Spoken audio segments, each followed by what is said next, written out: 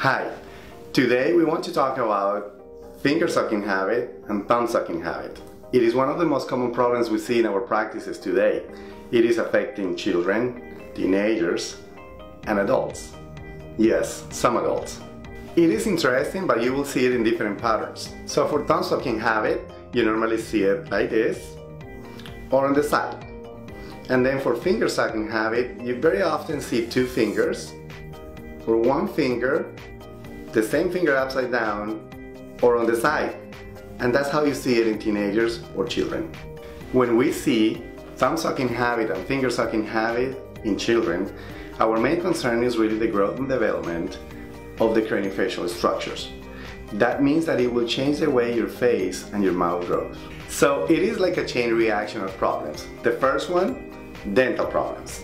So when we have the thumb sucking or the finger sucking habit, the upper teeth will actually flare out, they're gonna be sticking out, and the lower teeth will be actually pushed back, creating some crowding.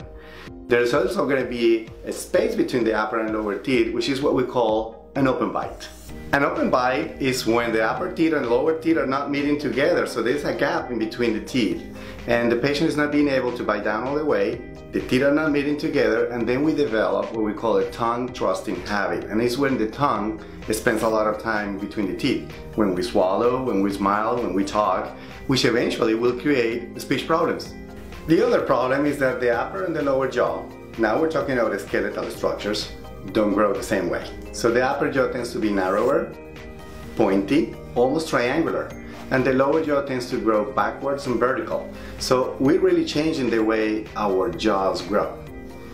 This will actually end up in the changing the appearance of your child. With the upper jaw being so small, we also see a tendency for snoring at night. And that's another consequence of the thumb sucking habit.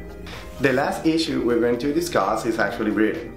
When the upper jaw is narrow, a lot of patients will develop some breathing problems and will develop what we call a mouth breathing. And that means that we're gonna keep the mouth open all the time.